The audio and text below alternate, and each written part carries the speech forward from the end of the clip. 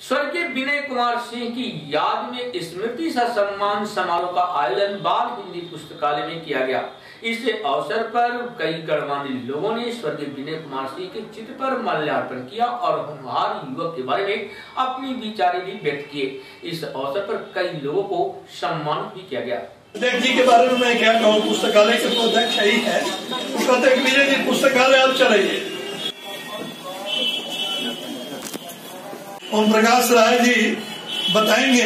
लेकिन मैं बताऊँ कि मेरी लड़की का पीएचडी करना था हिंदी में तो दो व्यक्ति लड़ गए कि नहीं, मेरी बेटी है।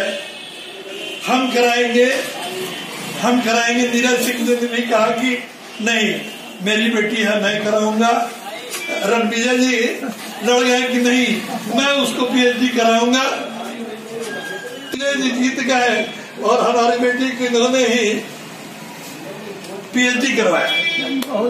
और मेरी बेटी और स्थिति क्या है कि चूँकि इंजीनियर साहब की बेटी पद्मा जी का डॉक्टरेट उन्हें सम्मानित किया और समाज में साहित्य के माध्यम से जो उनका योगदान है उसको मद्देनजर रखते हुए हम लोगों ने आज बाल हिंदी पुस्तकालय के द्वारा उन्हें सम्मानित किया।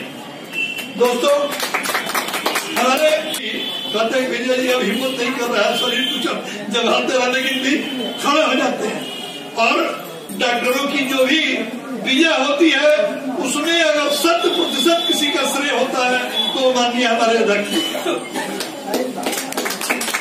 तो दोस्तों, वैसे व्यक्तित्व